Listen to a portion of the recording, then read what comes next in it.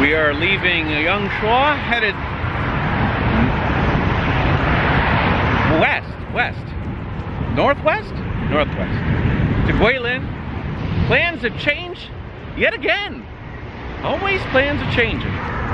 This time, the plan is that tomorrow, Annie and Eva are gonna be meeting us in Guilin. It shall be a nice time. They were planning to meet me when I went there to Ningbo and visited them for a few days. But uh, it'll kind of work out different because the weather in Ningbo is crappy and the weather in Guilin is good, as opposed to a week from now when the weather in Guilin is going to be bad and the weather in Ningbo is going to be good. So we're trying to get the best of both worlds. Eva and Annie are going to hang here for a few days. Then I'm going to go with them back to Ningbo for a few days. Then I'll be returning to Guilin, heading south to Nanning. Once I get to Nanning, I'll head back to Ningbo, spend Christmas and New Year's with with them, and then uh, once once that's finished, I'll head back, and we will be uh, full bore on tour mode. The uh, earthly acne is growing in number as we reach Guilin, which is going to be a short ride of uh, 70 kilometers. Earthly Acne, of course, is the mountainous territory I'm in. It's just bumpy. Feel like I could just pop these peaks and see him squirt something out the top. Hopefully. That's so gratifying. It's so frustrating when you try to pop them and nothing comes out. And then they get bigger. It's like, why did I just do that to myself? Anyways. Little washing station over there. People washing their clothes. It is uh, 10 o'clock. I'm off a little bit late, but I got no real uh, worry about time because I know I'll hit 70 kilometers in the afternoon and all will be right with the world. So the road seems nice and straight and long. I'll have a couple of bumps along the way. Hello. But uh, nothing to balk at, nothing I haven't done before. And uh, yeah, that's it. I say and uh a lot, eh? That's my that's my pause word. I'm gonna I'm gonna try to not say and uh other than facetiously like and uh like literally and intentionally.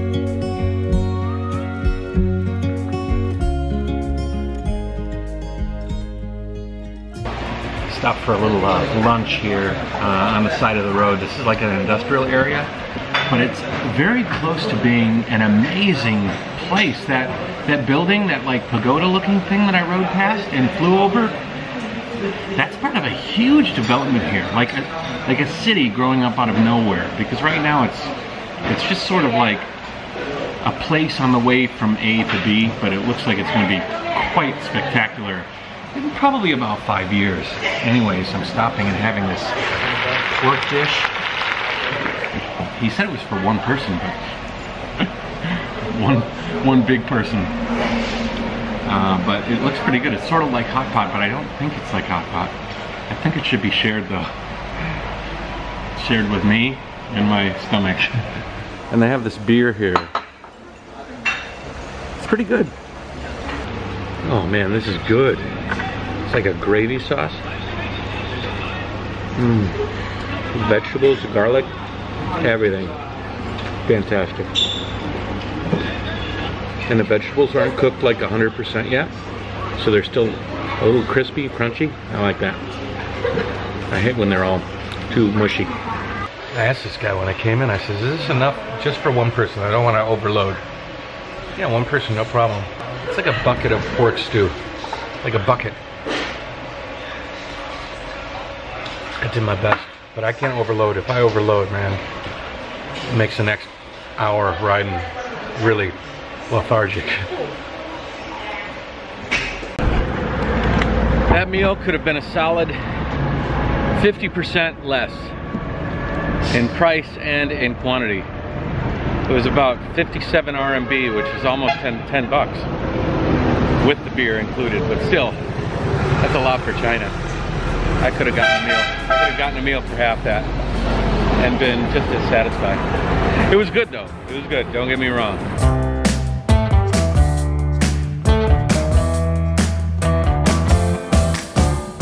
Kids, I've been looking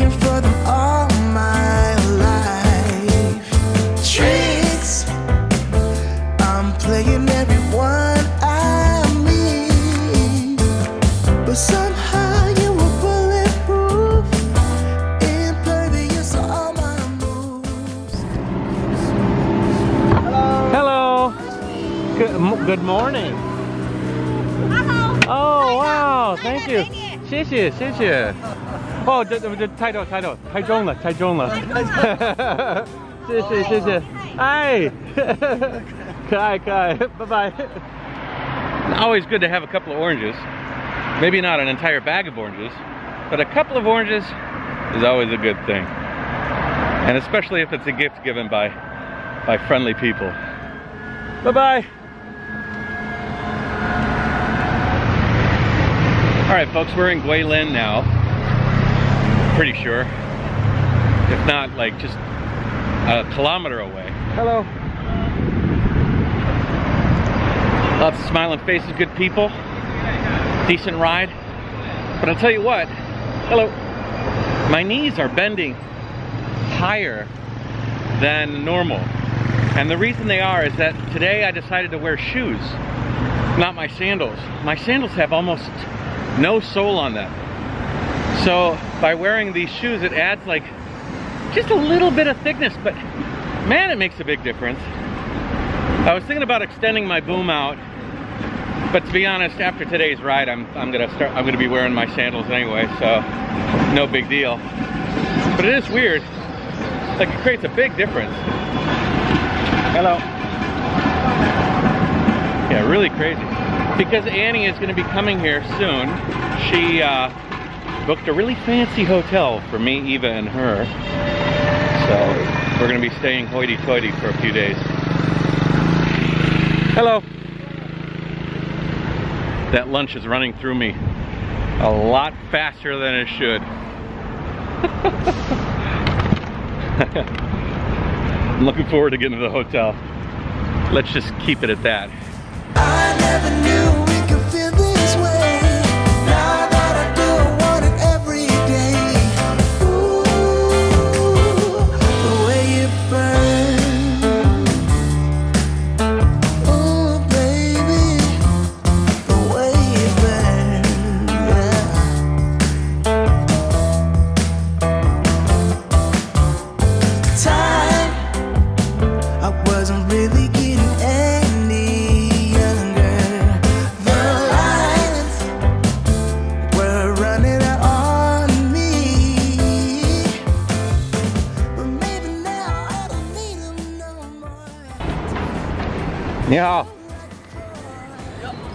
Neiman Chunar, Ma. Hello. Neiman Chunar. Where are you going? Beijing. Beijing. Ha ha. Hi. Where are you headed? Where are you coming from? Uh, Guangzhou. Guangzhou. Oh, go, go, go, go.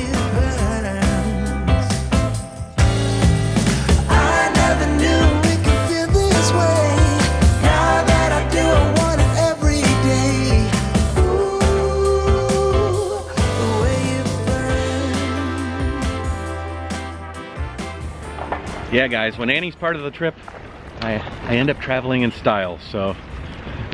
We're staying at the five star, as I was just talking about how five star hotels aren't the biggest thing in the world. We're staying at one, the Shangri-La Guilin.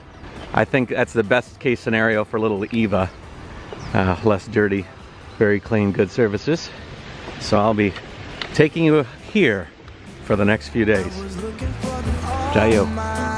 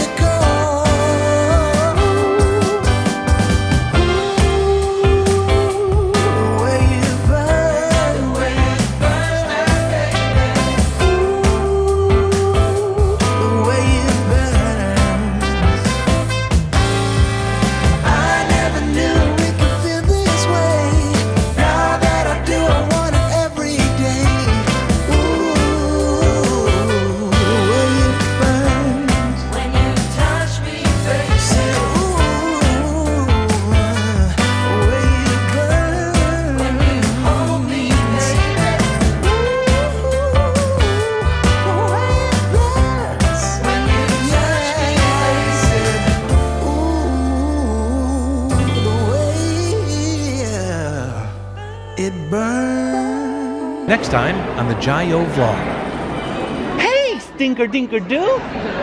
Daddy Eva Ichi. Daddy Eva Mommy Ichi. Jump, jump, jump, jump. Feet first. Yeah, feet first. Ah! You want to go on a choo-choo train, honey? Daddy.